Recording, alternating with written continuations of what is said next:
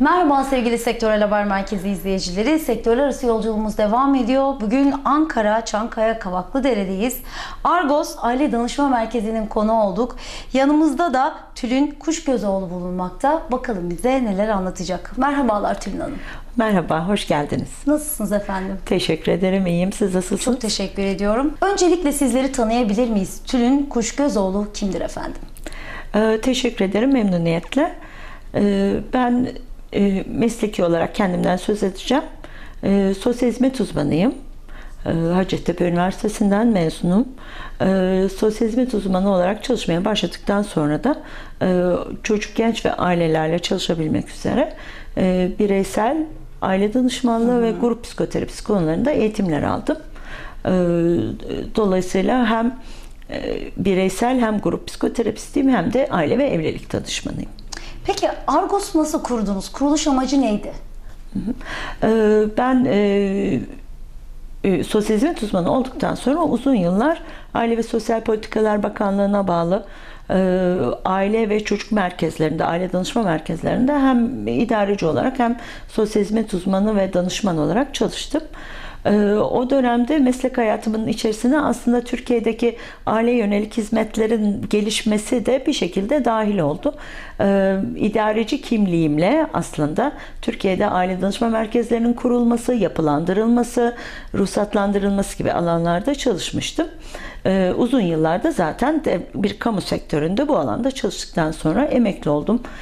Birkaç e, Avrupa Birliği projesinde de yine çocuk, aile ve gençleri hedef alan, kadınları hedef alan birkaç projede de yer aldıktan sonra böyle bir hizmeti bizim de e, özel sektörde de sunabileceğimiz gündeme geldi.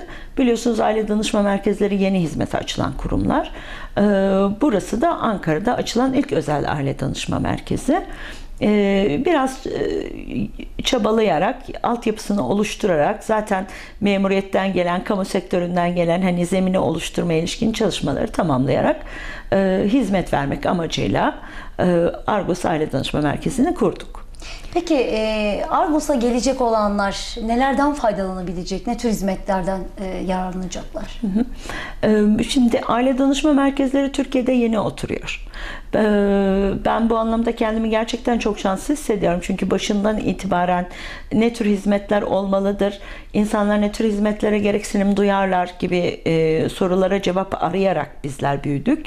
Ee, Bugün Argos'ta da biz e, bu hizmetlerin hepsini kullanıyoruz. Bunlar şu şekildedir. Çok genel anlamıyla söyleyeceğim. Sonra biraz da ayrıntılarına bakarız.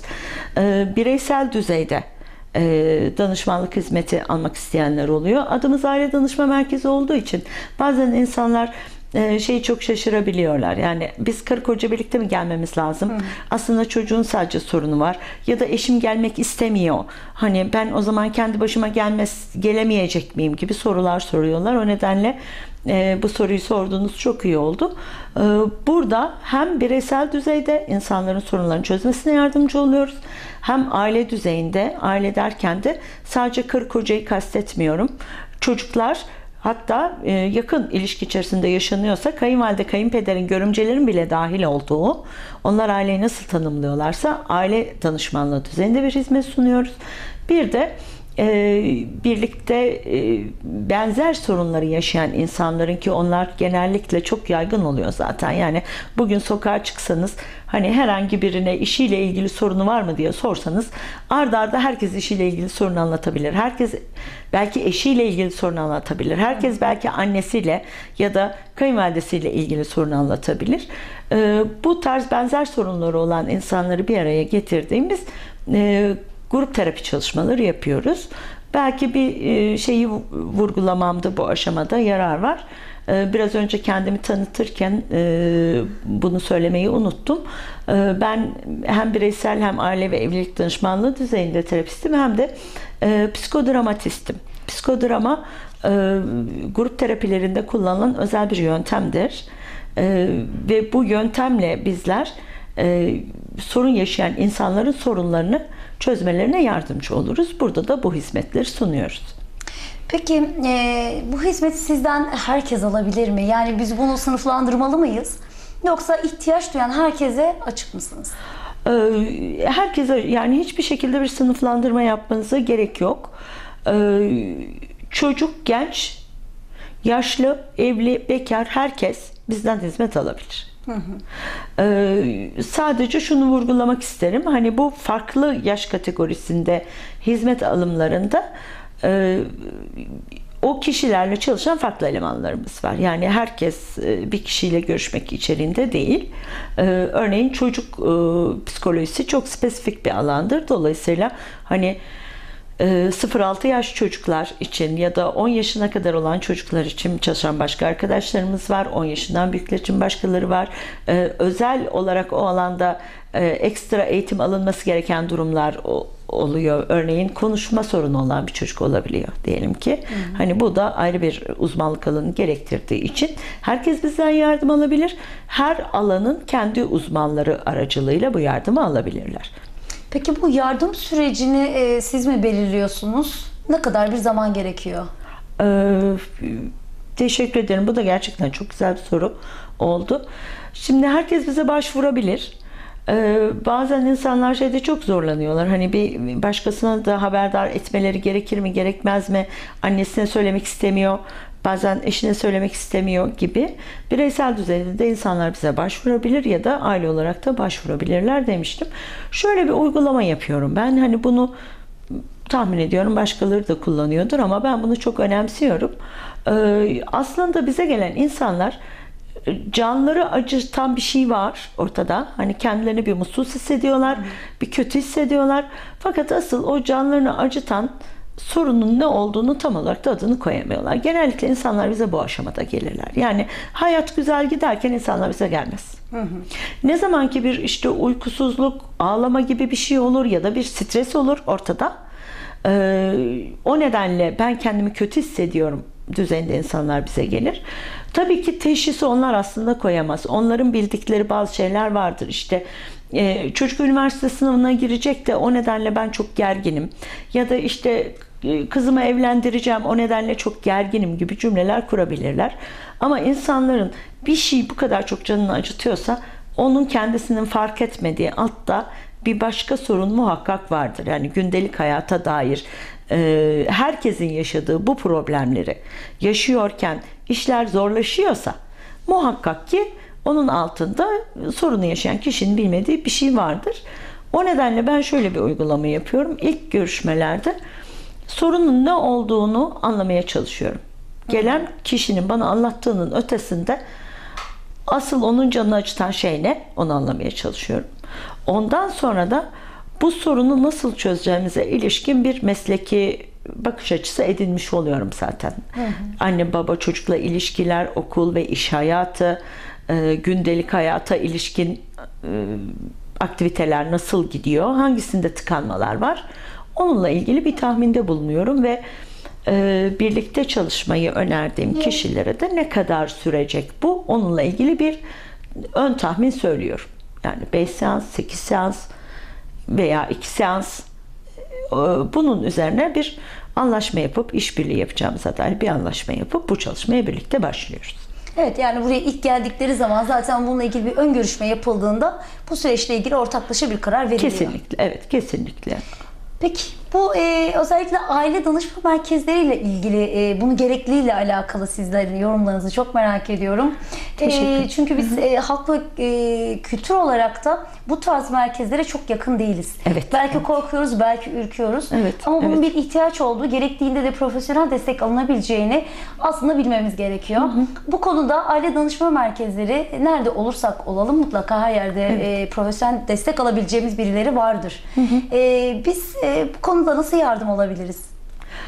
Ee, şöyle aslında aile danışma merkezleri öyle kurumlar ki e, sorun ortaya çıktıktan sonra hizmet veren kurumlar değiliz biz sadece. Biz henüz sorun ortaya çıkmadan hizmet vermeyi amaçlıyoruz. Çünkü tüm dünyada olduğu gibi Türkiye'de de hayat çok hızlı değişiyor.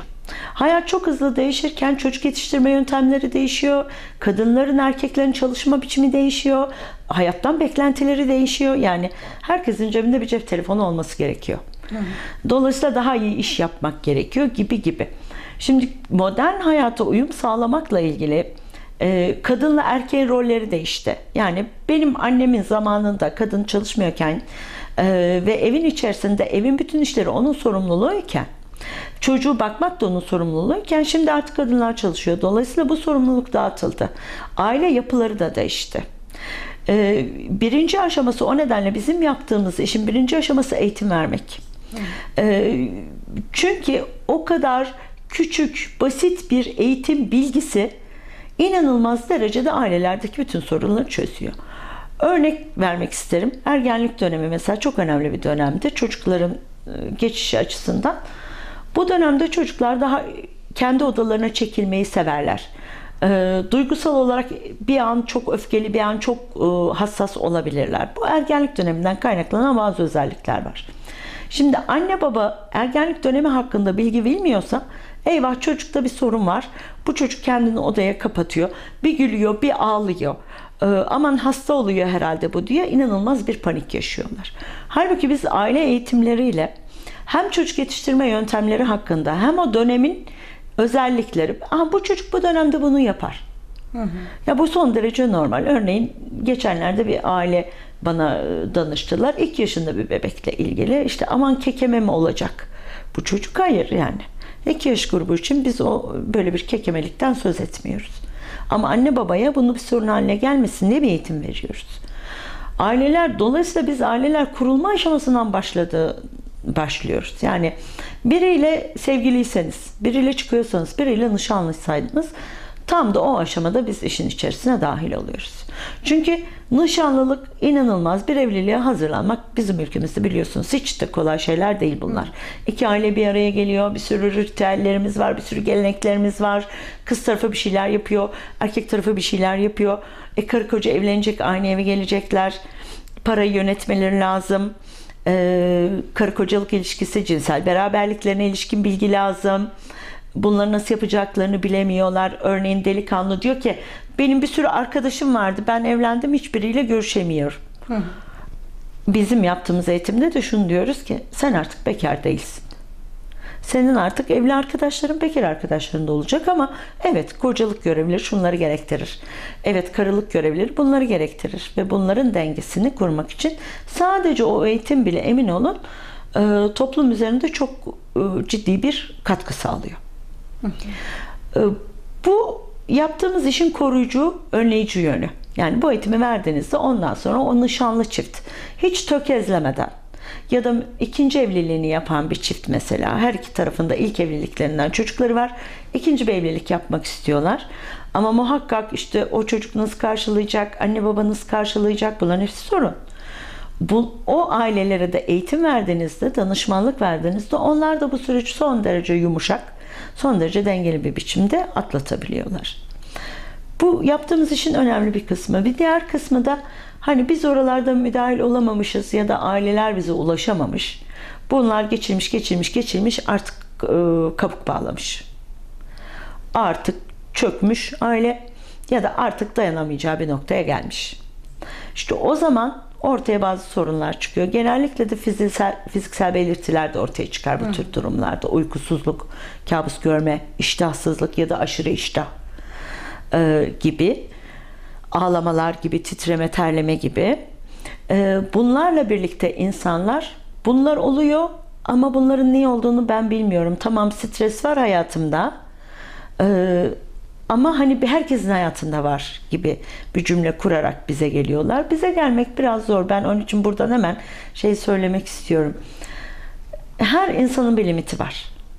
Her insanın bir limiti var. Ve bir şey size fazla gelir. Hayatın bir anında bir şey size çok hep yapıyorsunuzdur da.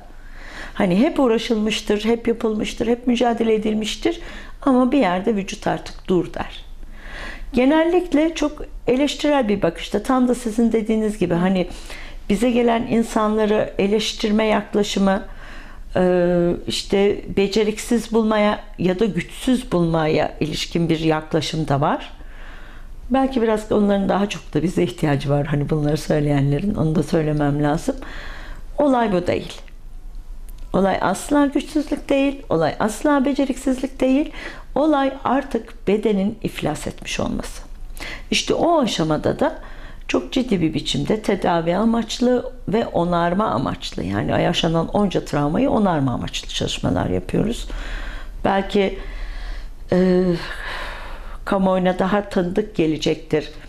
E, aile içi şiddet dediğimde ya da kadına yönelik şiddet dediğimde belki çocuklara yönelik istismar dediğimde daha tanıdık gelecektir. Tabi travma derken sadece bunlardan söz etmiyoruz. Ailede birinin ölümü bir travma yaratır. Anne ya da babanın kaybı. Ailede ağır bir hastalık, bir e, kronik bir hastalık olması bir travma yaratır. Bir engelli olması travma yaratır. Buralara gitmeseniz bile bir çocuğun bugün bizim ülkemizde üniversite sınavlarına hazırlanıyor olması bütün aileler için travmadır. Yani bunu çevrenizdeki bütün herkese sorun. Hı hı. Senelerce süren üniversite hazırlıkları biliyorsunuz. Ondan sonra o sınavın stresi, çocuğun kazanıp kazanamayacağı alın size bir travma. Ya da çocuğun askere gitmesi bir travmadır. Çocuğun evlenmesi. Bunların hepsi çünkü ailenin olağan yapısında değişiklik yaratır. Ailenin olağan yapısında değişiklik yaratan her şey dengeyi bozar. Dengeyi bozulduğu anda da bizler orada ailelere yardımcı oluyoruz. Evet bir de beklentiler çok yüksek ise gerçekten de şiddetli hayal kırıklığı oluyor. Ee, bunu gidermek adına sizlere ihtiyacımız Evet, var. İyi ki evet. varsınız diyorum Teşekkür ben ederim. Hanım. Teşekkür ederim. Peki e, buradan son olarak özellikle bu bahsettiğiniz sorunlara sahip olan ve bir türlü cesaret edip de e, evet profesyonel destek almalı, almalıyım deyip kendiyle yüzleşemeyen herkese vermek istediğiniz mesaj nedir? Ee, Ben sadece sorunu olanlara değil, sorunu olmayanlara da muhakkak bizlerle aile danışma merkezinde çalışan eğitim çalışmalarından yararlansınlar. Ee, Sıkıntı yaşayan, sorun yaşayan ya da çatışma yaşayan insanlara da şöyle bir ipucu vermek istiyorum. Ee, İnsanlar sorunlarını çözmek için kendi beyinlerinde var olan bilgileri kullanırlar doğal olarak. O sizin beyninizdeki bilgi artık yeterli değil. Onun içerisinde dönüyorsunuz demek ki sorunu çözemiyorsanız bir başka bakış açısına ihtiyacınız var demektir. İşte orası da bir profesyonelin yanıdır. Çünkü bunu kendi yakın çevrenizde birine sorduğunuzda muhakkak ki o da kendi duygusal yanıyla tepki gösterecektir. Ne var ya bunda? Neyi kafana takıyorsun? İşte biz de gittik gibi cümleler kuracaktır. Bu sizi daha çok üzer. Üstelik de hiçbir işe yaramaz. Hiçbir şey de yaramaz. O yüzden lütfen aile danışma merkezlerine profesyonel insanlara gelsinler. Ee, belki bir şeyi hatırlatmamda yarar var bu aşamada. Aile danışma merkezleri biliyorsunuz yeni kurulan merkezler dedik. Ee, Türkiye'de de yeni yapılandırması devam eden merkezler ve bir aile danışmanı olmak ya da psikoterapist olmak üniversite eğitiminin üzerine yaklaşık 8-10 yıl eğitim almayı gerektiren bir süreçtir. Ailelere benim buradan tek tavsiyem bu alanda yeterli eğitimi almış profesyonellere ulaşsınlar. Çünkü her sektör gibi bu sektörde suistimale çok açık. Dolayısıyla insanlar hani yeterli donanımları olmadığı halde bu işe yaptığını iddia edenler olabilir. Piyasada var da biliyoruz zaten. Ee, burada hizmet alacakları yerleri çok iyi seçsinler. Çünkü bir insan zaten bu kadar zor koşullarda en son çare bir danışmana geliyor ve orada bir yanlış durumla karşılaşıyorsa maalesef onun durumunu düzeltmek daha büyük bir hayal kırıklığına neden olduğu için daha zor oluyor. Baştan doğru hizmeti bulsunlar. Evet, sizin gibi uzmanların evet bu anlamda gerçekten de hizmet vermesi gerekiyor. Dediğiniz gibi suistimali çok açık. Evet. Ee, küçük bir araştırmayla aslında bu da çözülebilir. Ee, hemen Argos'la ilgili şunu da söyleyelim. Ee, bir kere burayı hazırlarken böyle bir aile danışmanlık merkezini e, oluştururken e, çok e, ince ayrıntılara dikkat etmişsiniz. Bir kere aile merkezimizin içerisindeki her şey tamamen buraya gelecek olan ailelerin kendini rahat hissetmesi için e, Evet. hazırlanmış. E, bu anlamda da gerçekten de bu tarz yerler hem e, huzur verici hem rahatlatıcı e, hem de buraya gelip e, bu danışmanlık hizmetini aldıktan sonra yani bu kapıdan çıktıktan sonra kendini iyi hissetmelerini sağlıyor. Evet, evet. Mekan da çok önemli. Evet. Size çok teşekkür ediyoruz Tülin Hanım vermiş olduğunuz kıymetli bilgiler için. Ben çok teşekkür ediyorum. Ayağınıza sağlık. Başarılarınız daim olur efendim inşallah. Sağ olun, teşekkür ederim. Sizler de sağ olun. Evet sevgili Sektör Haber Merkezi izleyicileri sizlere Ankara Çankaya Kavaklıdere'de bulunan Argos Aile Danışma Merkezi'nden seslendik. Sizler de kendinizi güvenilir ellere teslim etmek istiyorsanız Argos'a sizleri bir kez olsun bekliyor. Sözü merkez CEO'larına bırakıyoruz.